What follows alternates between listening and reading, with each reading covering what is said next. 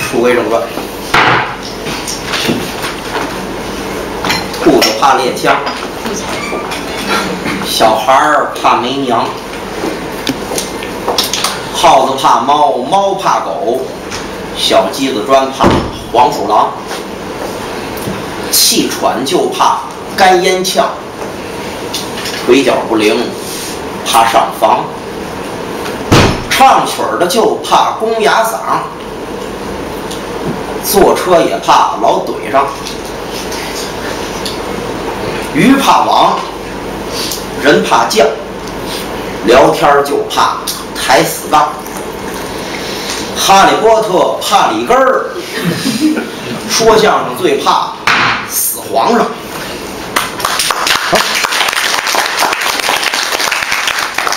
几句残词，有的观众可能听不明白，为什么哈利波特怕里根儿？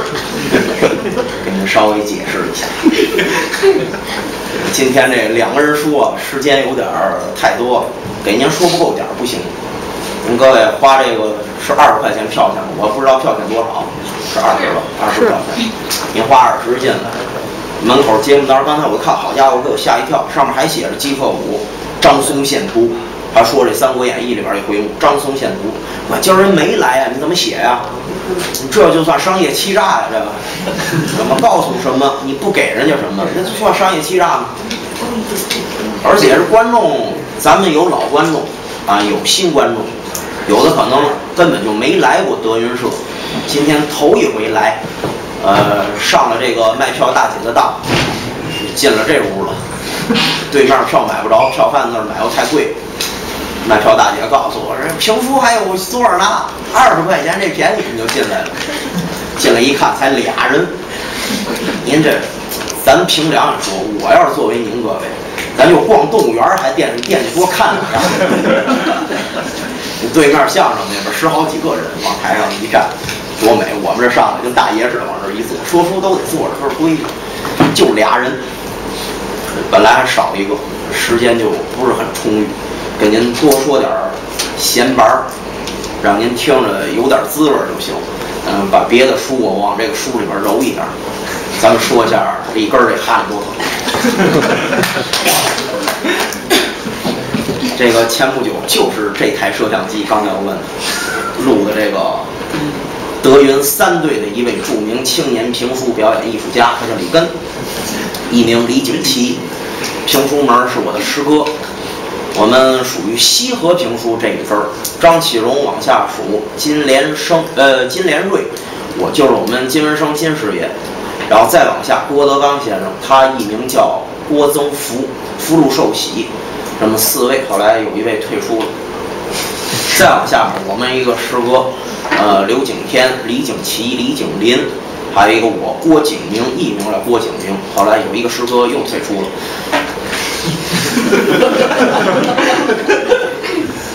刘文天呢，就是原原来我们这大艺师哥，不算退出吧，单飞了，就跟曹云金老师他们就外出自己演出了。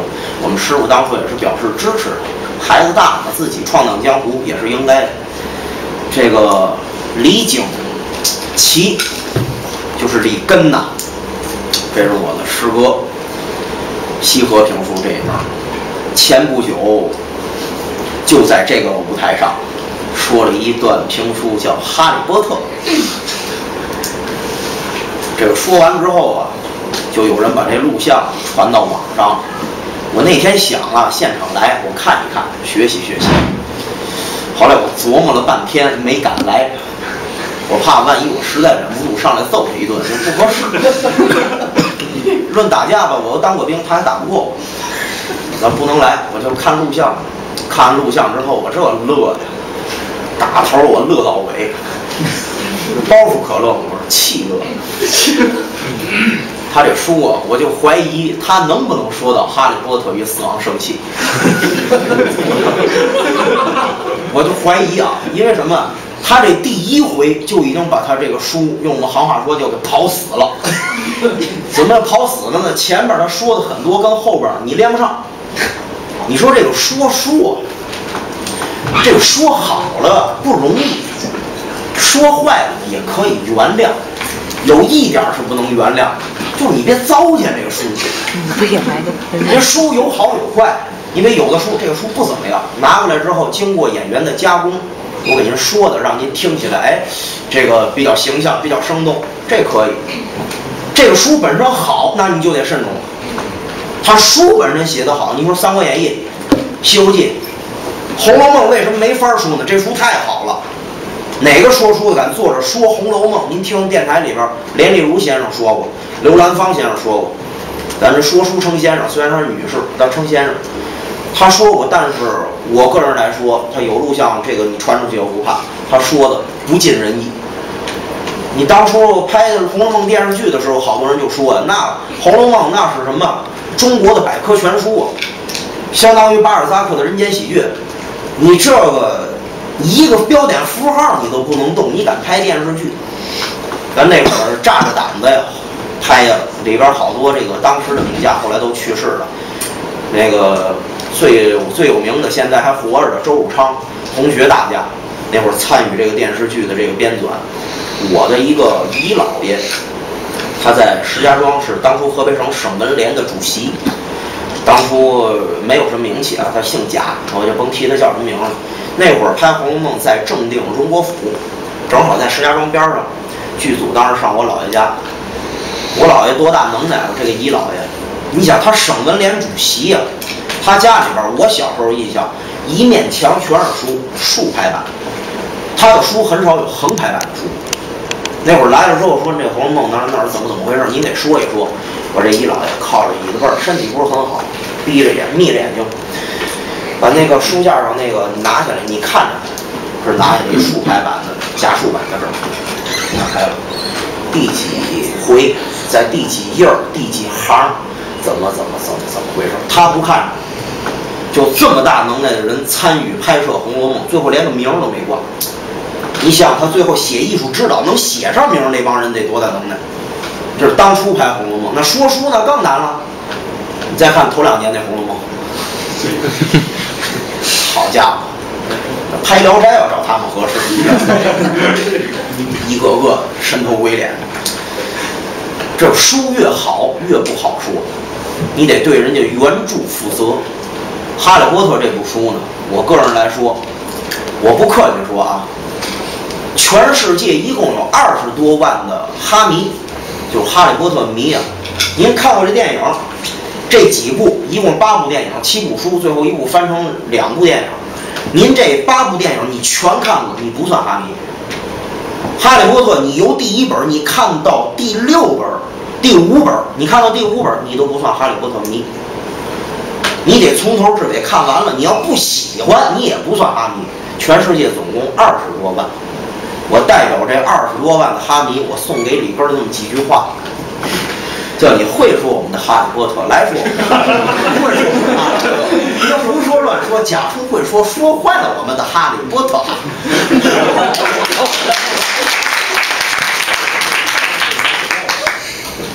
从我个人角度，我不否认李根儿的评书水平，他在技巧这方面，整个德云社所有参加说评书的演员，里根是这个技巧这方面啊。评书的基本功，连高峰高老师都算上。高老师基本功都没有他扎实。他打小做科，他先学的评书。在曲校那会儿，两个老师教过他。现在青年评书演员最有名的一个宋丹红宋女士教过他，关永超关先生教过他。那他那个基本功，而且他个人来说很下功夫。平常字儿挂儿赋，自己没事儿，后台捧本书就看，拿着就背，很下功夫。这点我不否认。可有一节，他这下功夫下的呀，不是地方。怎么叫不是地方？我听他这《哈利波特》刚上来这个头几句，哎，我眼前一亮，行，按照他这个功底说这个合适，他能说。前面说霍格沃兹，他叫霍格华兹，他可能是按照台湾翻译那版说过来的。三面靠水，一面环山，山脚下没有水寨都城。说这个。就就霍格沃兹这外边大开脸啊，这布景带切了。到后面邓布利多一出来，我一抖冷手，我说干了。他书没法说，一张嘴邓布利多，呃阿布斯邓布利多，他不说全名，这还有情可原。说书这个也算书胆式的人物，应该说全名：阿布斯·波西瓦尔·沃尔弗里克·布莱恩·邓布利多。你说出必须得出全名。镇三山侠五岳，敢浪无私鬼剑头，大仇鬼王夏侯尚元。你说三侠剑得把这全名出出来。他说邓布利多没说全名，我一撇嘴。这个他前面那个十二种龙血他都说了，那么难说的他都断不出来了，怎么到这全名这不说呢？一说邓布利多这岁数，他更没法说了，五百岁。邓布利多是老校长，他不是老王八。五百岁，不是他看的哪版？他可能看了阿尔巴尼亚翻译那版。怎么这五百岁都出来了？邓布利多生于一八八一年，卒于一九九七年六七月六月二十六号，应该是这个日子，如果没记错啊。生于一八八一年，一共活了是一百一十六岁。在他五十多岁那年招收的伏地魔，伏地魔跟哈利波特斗的时候，他要留那个日记在密室里边，那会儿十六岁。六十年之后，密室再次开放那会儿，再跟哈利波特斗，这正好应该是七十多岁了。跟伏地魔一块儿同学有吗？有，就是那大胡子海格，海格，他跟伏地魔算是同学。这个哈利波特的父母，莉莉波特，包括詹姆波特这两个人，这都是在他后边的这个学生，他后几届的学生。伏地魔算学长，呃，那个传统书说这叫学长。他说这个邓布利多这个。五百岁，我说你这要说到最后，你说到混血王子邓布利多死的时候，你批不批呢？这个人物你必须批啊！说《三国演义》，袁国成先生批到诸葛亮去世那点时候，一整回半个钟头没说别的，就批诸葛亮这一生。为什么？这是书胆。邓布利多你不批行吗？你到时候回去怎么批？一开脸，邓布利多鼻如玉树。只看过《哈利波特》都知道，邓布利多鼻子是歪的。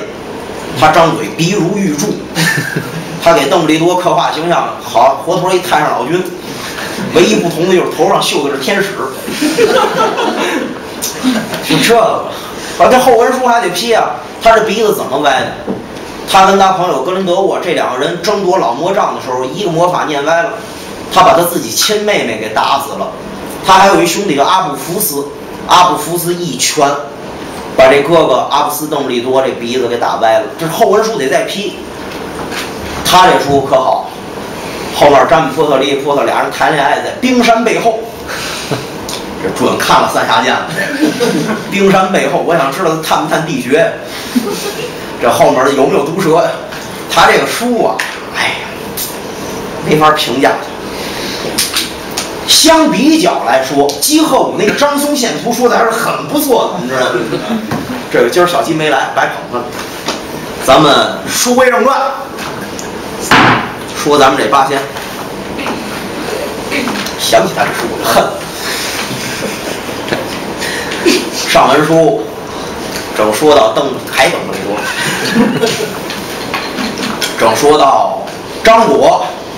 就是咱们这八仙里边的张国老啊，这会儿还不老呢，年轻时候修道时候。张果跟他的生身之母罗元罗夫人，田罗京，还有他父亲张天成，一家三口在通惠女道人一个狐狸精转世啊，通惠女道人带领之下，来到东海岸边，拜访当年张果前一辈子的朋友。龙爷平和，后来四海龙王的父亲，来到这会儿，平和龙王问张果说：“这次令堂大人在海中做一个道场，这田螺精啊，在这个得道之后害的人太多，说这怎么能修成正果呢？你得做一个道场，把你当初害死那些个人超度一下。”你才能得成正果，这是太上老君给罗元布的这么一个任务。平和就问说：“令堂大人，这次这个道场，唯恐你当年那个兄弟蛟龙精前来捣乱。如果他知道，他必然来捣乱。他这次到场做道场，这个法师得是德高望重，得有真本事。不知道这法师选好了没有啊？一看这狐狸精，是不是你呀？”通慧女道人不是一摆手，好，做这道场这位法师可比我有能耐。这位原本是上界天神，玉皇大帝手下一个司香仙吏，管烧香的。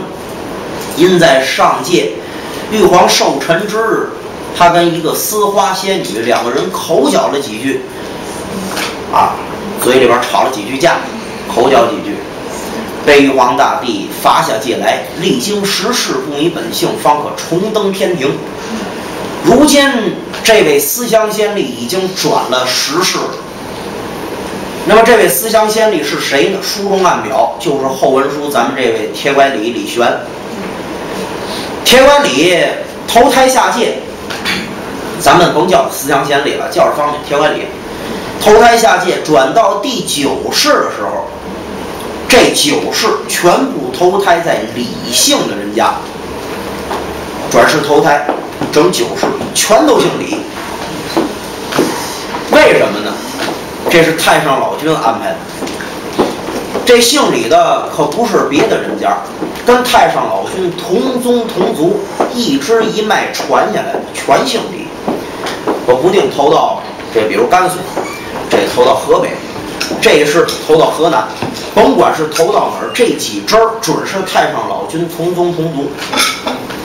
这个意思就很明白，将来准是要收他做徒弟，因为后文书咱们再说点化张果、点化何仙姑、点化吕洞宾这几个人都不是太上老君徒弟，有的可能是铁拐李去点化，有的是别人去点化。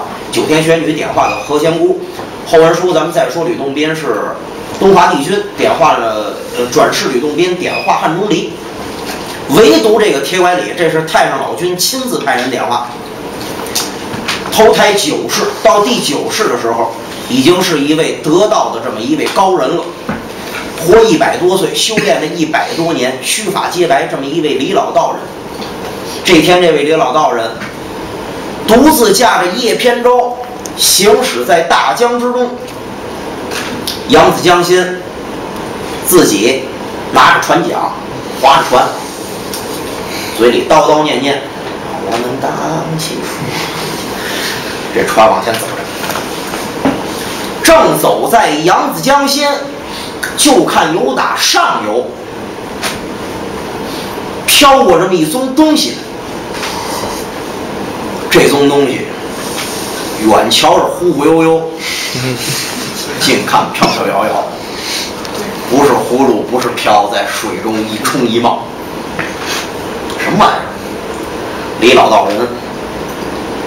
紧划双桨，把这船摇至近前。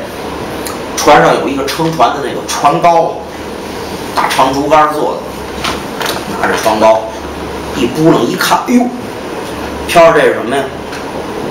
是一人，可不知是死是活。这是覆水呢。过去老话覆水，现在话叫游泳啊，这是后来的流行名词。覆水怎么不脱衣服？这是死的还是活的？得看看呢，拿着船高一撑，这人，这人在水里边一打个，这脸就翻上来了，给李老道人吓一跳。这是一具死尸，而且还是一个女子。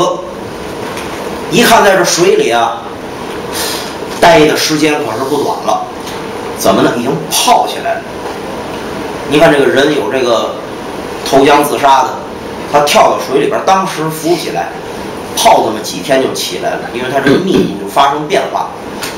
呃，刚跳到水里，人身体这个密度跟水的密度是差不多的，具体多大密度呢？这可以咨询一下高峰老师，他学水产的。这人在水里泡一阶段，他就浮起来了，拿着船篙一撑过来，一看这脸泡大了，哎，当时李老道人。抛袖掩面，不忍心看。出家人慈悲为本，方便为门。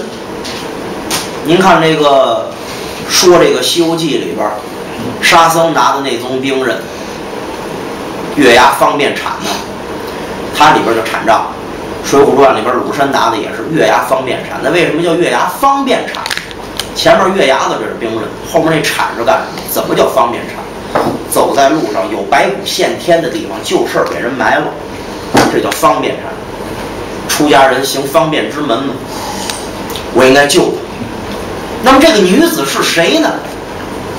就住在这个扬子江对岸这个地方，叫南徐州。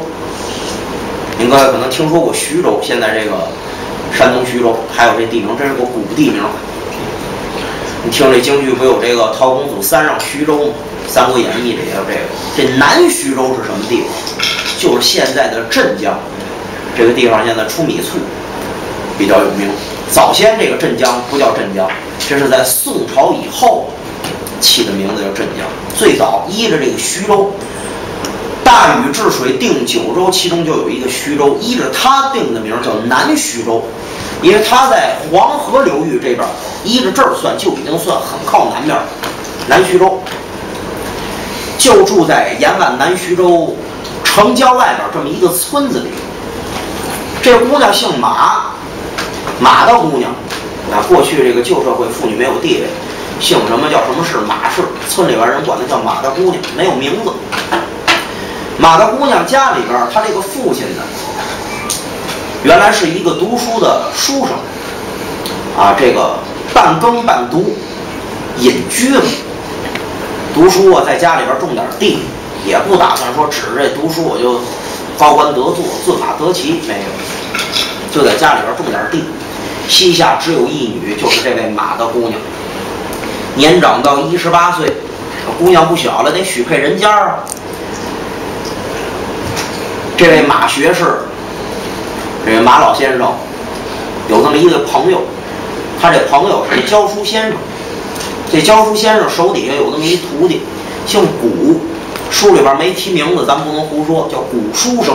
这书里边原文写的古书生，这古书生小伙子不错，年长二十，也没有娶亲。后来两方面觉得挺合适，商商量量，一拜花堂，这两家就算做了亲了。马大姑娘嫁给这位古书生，这两家都不富，很穷。古书生也是念书人，没什么能耐。家里边也没有什么人了，上面有这么一位高堂老母，父亲早年去世了。嫁过来之后，这位马大姑娘非常的勤谨，每天早上起来就开始拾掇屋子，外边挑水，回来做饭。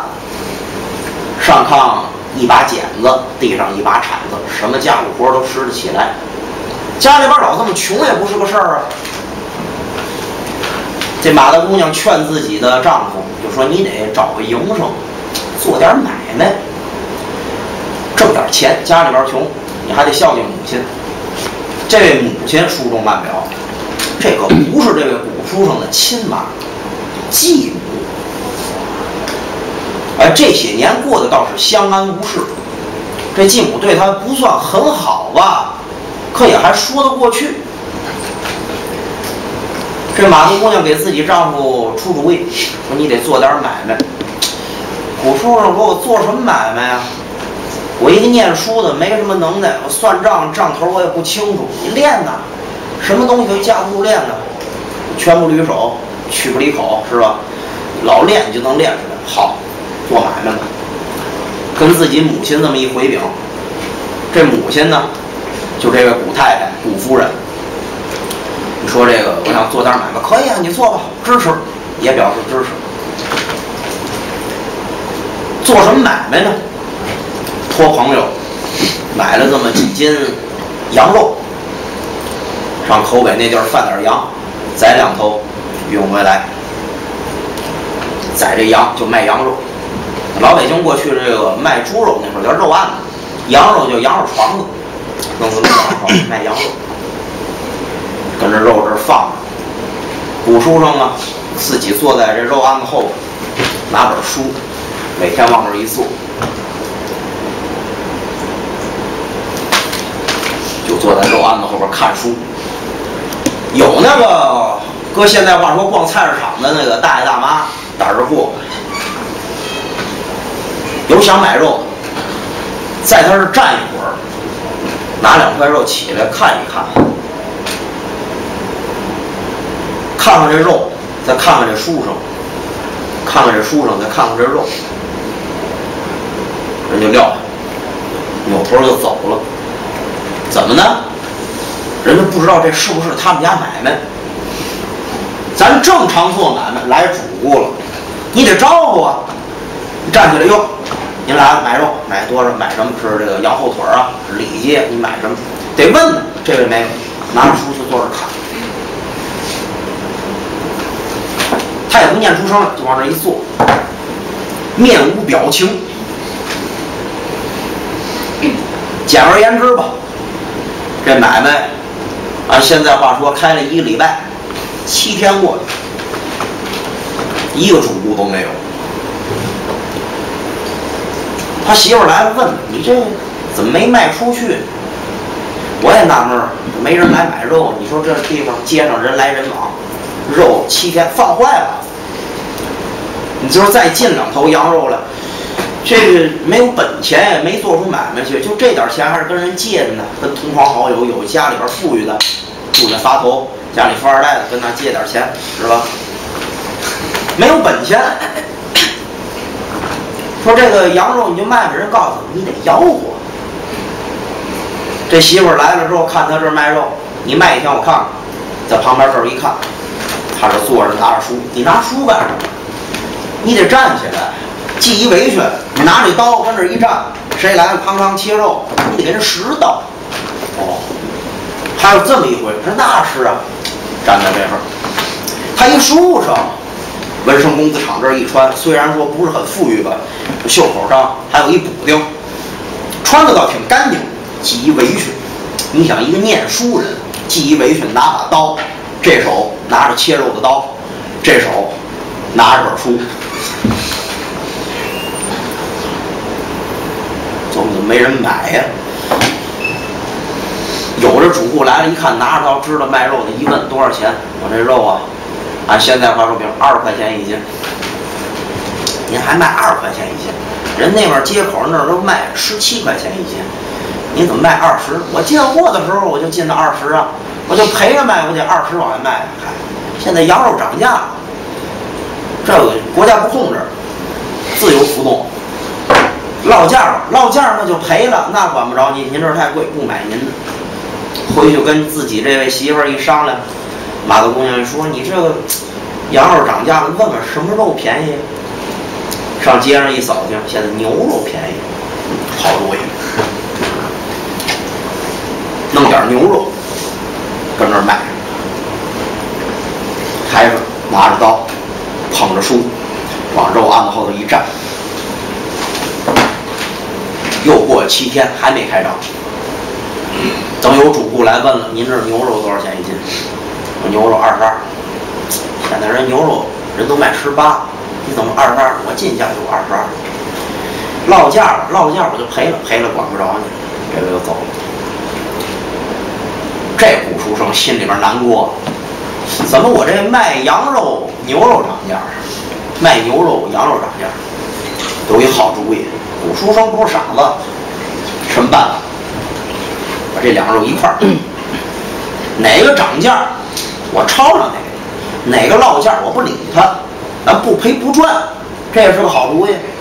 牛羊肉都进来，转天要开张，街上贴一告示：周康王一道圣旨，为给母亲过寿，天底下不许杀生。说白了就不许卖肉了。顾书生一抖了手，干了，这可怎么办？做这点买卖，买这点肉，家里所有积蓄可都没有了。回家自跟自己的这位夫人，跟老娘一商量，一说这事儿，咱说穷吵恶斗，穷吵恶斗，家里边一穷啊，各种矛盾它就爆发出来了。很多人认为这个家里边有没有钱，呃，跟这个家庭的幸福指数没有关系，错了。这家里边要是太穷了。他也有矛盾，那不是那个家里边这这家这两口子穷，没钱，但是夫妻很恩爱，这种事情多半都出现在作者的笔下，就是文学作品里边这种事儿居多。实际现实生活当中，咱人都得活着，得吃饭。家里边这位古夫人，古老太太，就是古书生这位继母啊，也不是个什么特别省油的刀。小心眼儿，而且这位古老夫人在他们家周围这一片人缘不是特别好。这马大姑娘一过门，所有街坊邻居跟这马大姑娘关系不错。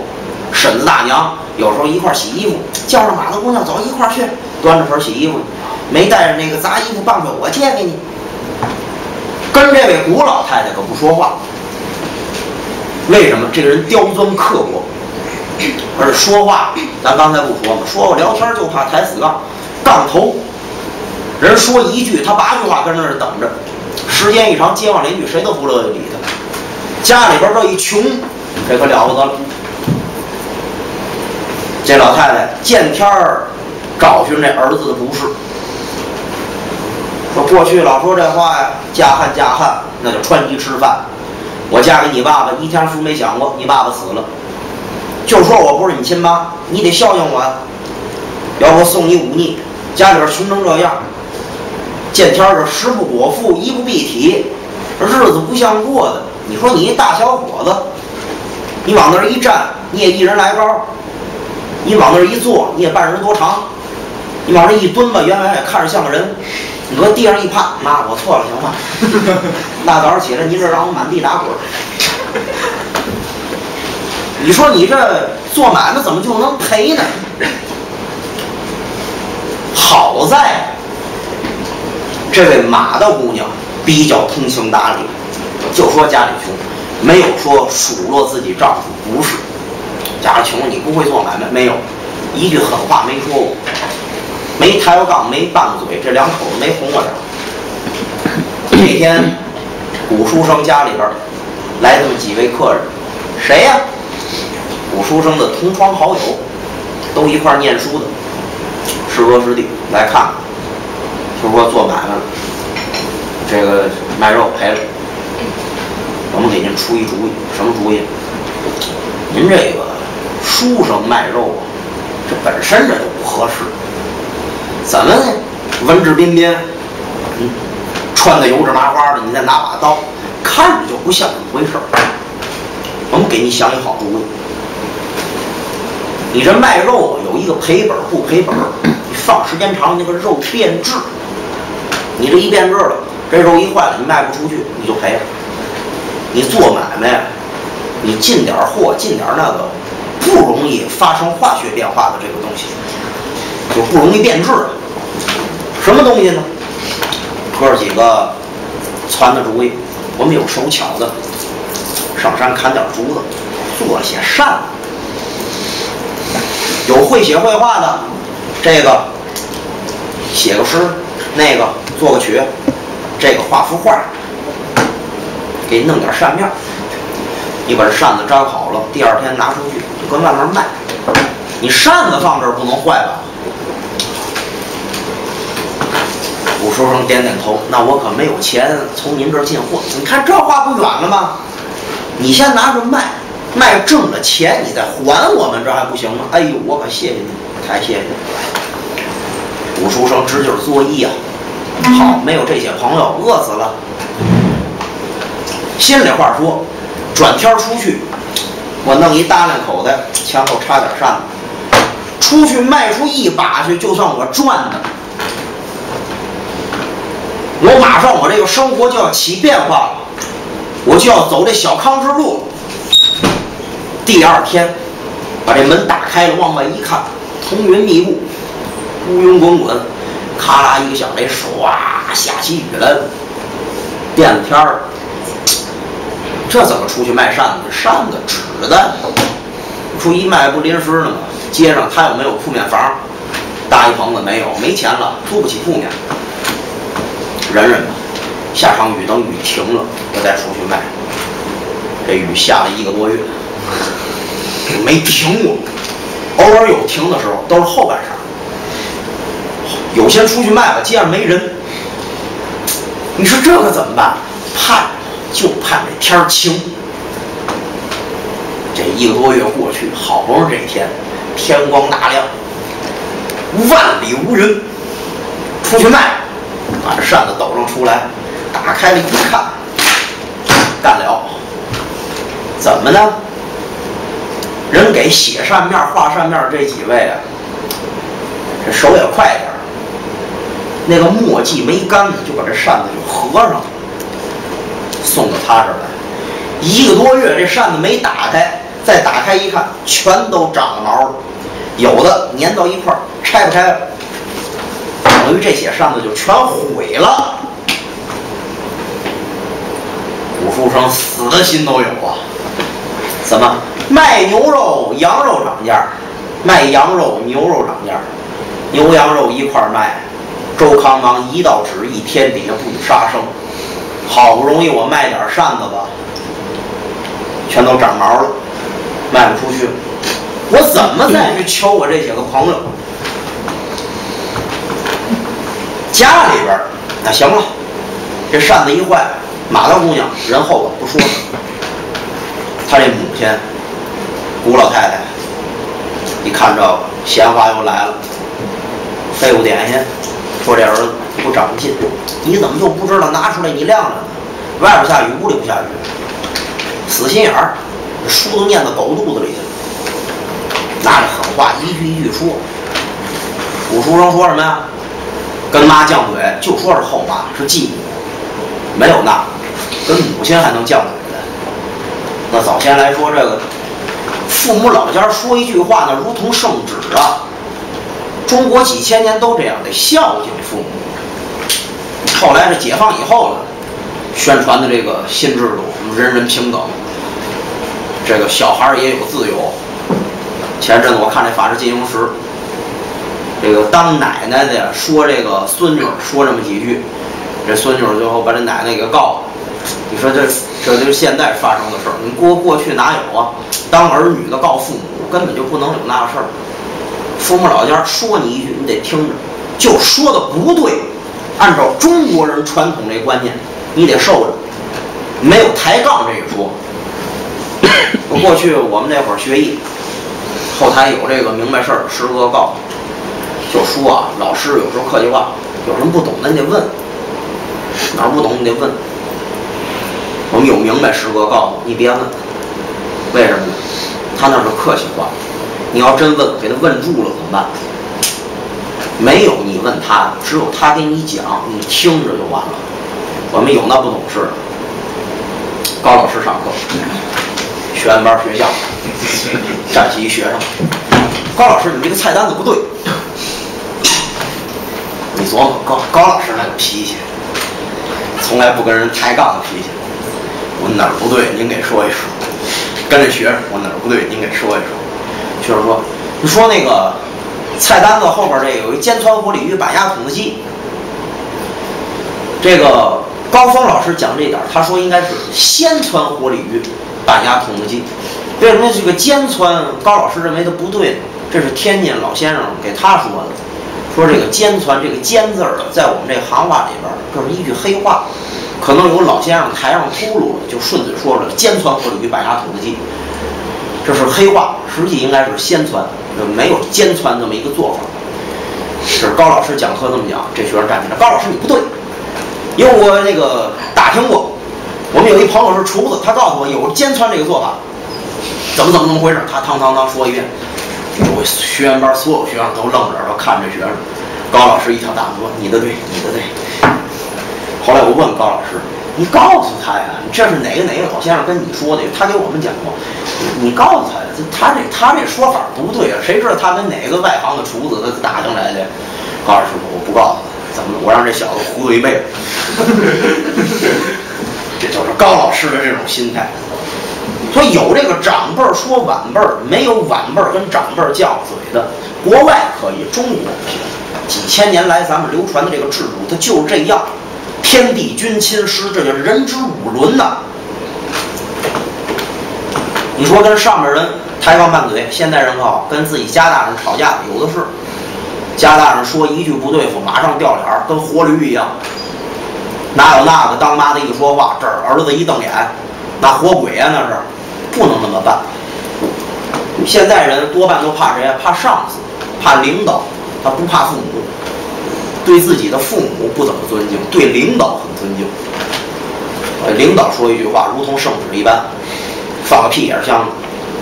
古书上不是那样人，对自己母亲很尊敬，就说继母，就说他这母亲小心眼儿，说话不着调，从来没抬过杠。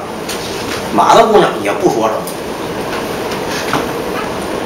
时间一长喽，这古老太太不找她这儿子的毛病，找谁的毛病？找这儿媳妇毛病。说这儿子也知道儿子孝顺，这些年对自己也不错。你说他说不着，还得指着他呢。就说他现在做买赔，他就没有做买卖赚的时候吗？将来他要挣了钱呢，不得指着他养活我吗？不说他，没事儿啊，就骂这儿媳妇。今儿来了，做一顿中午饭，这饭菜炒咸了，饭煮硬了，怎么不合适？稍微有点糊嘎巴，好，老太太就挑眼，马大姑娘一句话不说，受了，忍着。为什么叫这么说？说说这叫什么？那过去老话怎么说来着？这多年的媳妇熬成婆呀？为什么这么说呢？怎么叫多年的媳妇儿熬成婆？不是说这个姑娘，她打媳妇儿过来，慢慢她当婆婆，岁数大了就叫熬成婆了，不是？这句老话怎么解释？他说的是一个人的心态。怎么叫多年的媳妇儿熬成婆？我当媳妇儿那会儿，我受过委屈，婆婆就对我不好，跟我不是一条心。自古以来都这样，婆婆跟儿媳妇不是一条心。现在好了，现在是人人平等。早先不那样。实际这个吴老太太当年做儿媳妇的时候，她婆婆也没有给她什么委屈受，可能个别的时候说两句这个这个稍微扎耳朵的话，啊，说的话稍微狠一点，她就记在心里了，也不能跟上一辈人抬杠。我当婆婆时候好，等我有了儿媳妇，你看我怎么收拾她。我当年受的委屈，我在你身上撒。